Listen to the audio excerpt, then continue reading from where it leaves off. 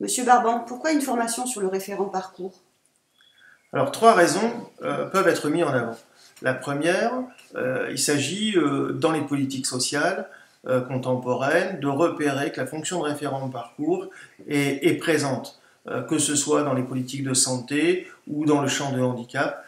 cette fonction devient une fonction clé pour faire en sorte que les projets personnalisés d'accompagnement soient plus fluides, coordonnés, euh, qu'il n'y ait pas de multiplication euh, d'interlocuteurs, euh, qu'on repère dans les établissements et à l'extérieur des établissements une personne référente et que la notion de parcours, surtout, ne agisse sans rupture.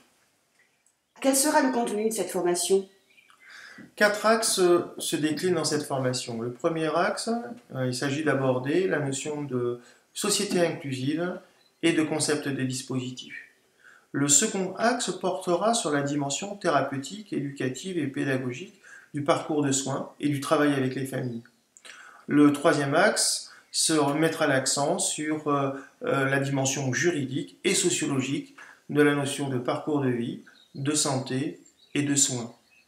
Enfin, le quatrième axe accentuera euh, le travail sur les postures, les outils du référent parcours qui se destine cette formation?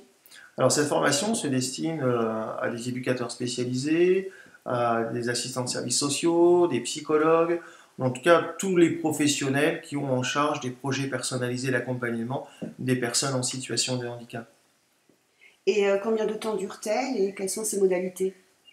Nous avons élaboré la formation sur 35 euh, heures. trois journées en présentiel, où là, la rencontre est importante pour euh, problématiser ensemble avec les stagiaires en formation.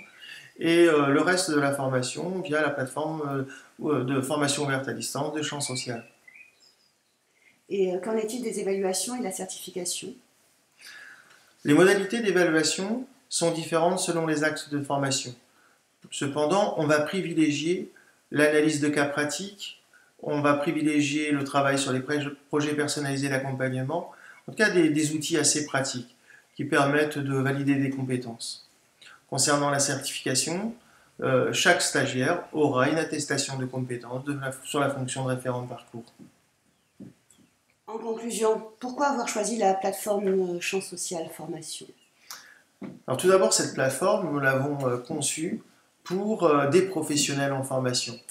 Il s'agit bien d'une formation professionnelle où la formation ouverte à distance permet un véritable enrichissement de, euh, la formation pour acquérir des compétences.